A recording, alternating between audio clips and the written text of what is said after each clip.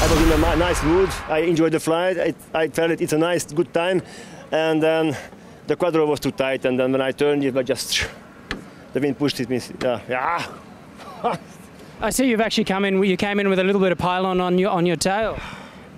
Yeah, it was no problem. So I, I, I felt it. That's why I stopped. But it, it was no problem to fly and come back. I'm so angry. Ah.